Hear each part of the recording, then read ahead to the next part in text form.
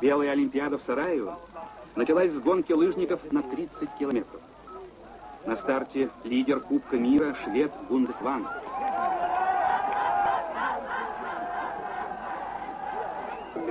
Николай Земятов из Подмосковья, стартовавший 72-м, последним, был в этот день лидером по всем статьям.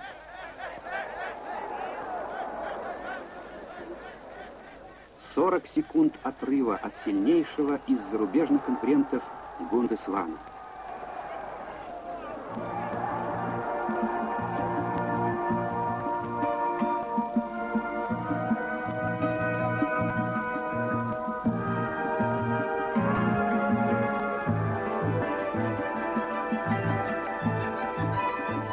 А истоки его чемпионского пути можно отыскать в самой обычной средней школе.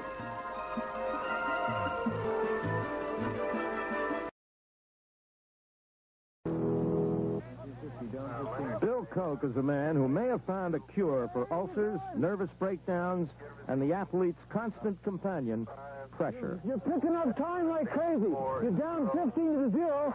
You're running in about 15th place right now. You're picking them up really quick. Come on, buddy. Come on, come on. Dig it out. You can get the top 10. Come on. Come on, Bill. Up, up, up. Come on, Bill.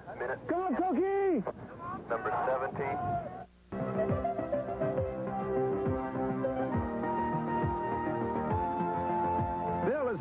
To make excuses, and he made none today. The blizzard conditions were the same for everyone, although the stronger skiers did fare better.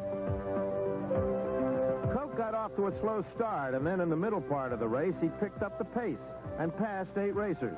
But it was not nearly enough to overtake the leaders. As Juha Mieto, the great giant Finnish cross-country skier, says, it is the clock that will decide.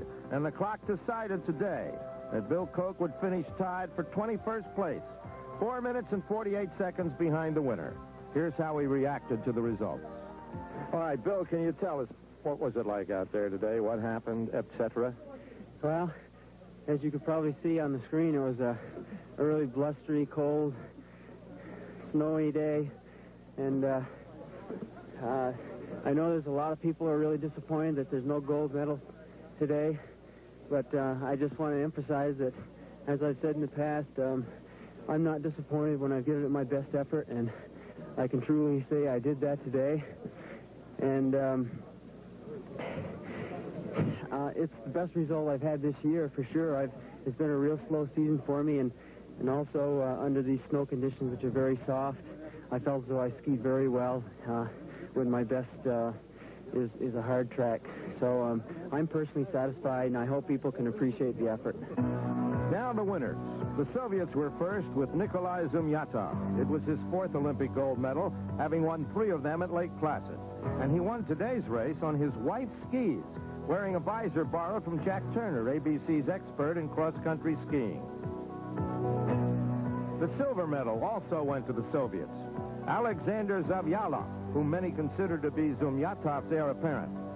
He finished just 27 seconds behind the winner. And the bronze medal went to this baby-faced youngster from Sweden, Gunde Svan. Despite this collapse at the end of the race, he is a very strong skier and the current leader in the World Cup. One of Oscar Hammerstein's favorite things were snowflakes that melt on your nose and eyelashes. But in cross-country skiing, snowflakes do not melt.